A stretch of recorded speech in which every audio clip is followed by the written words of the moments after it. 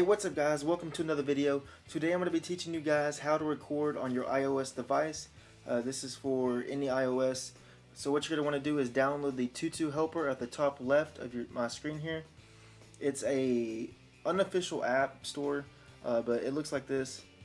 You'll click on it and you'll go to the top on the search bar and type in PixlRec. It's P-I-X-L-R-E-C and it will look like this. You'll just go ahead and hit install and it should pop up another uh, little pop-up where you can hit install. And it should install fairly quickly guys. Uh, but once it installs we're going to go ahead and go to the app. Alright guys so this is what it looks like. It's this little purple app right here. You're going to want to go ahead and click on it and hit allow. A couple ads should pop up.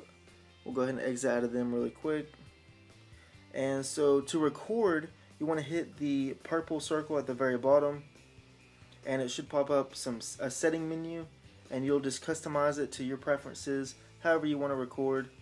Um, and then at the top right of the uh, settings it has record and you go ahead and record like that.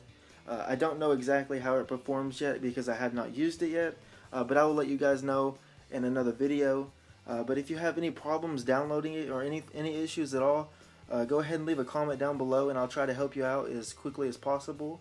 Uh, if you did find this video useful, guys, uh, please hit that like button. But anyways, guys, thank you so much for watching. I really appreciate it, and I will see you all in the next video.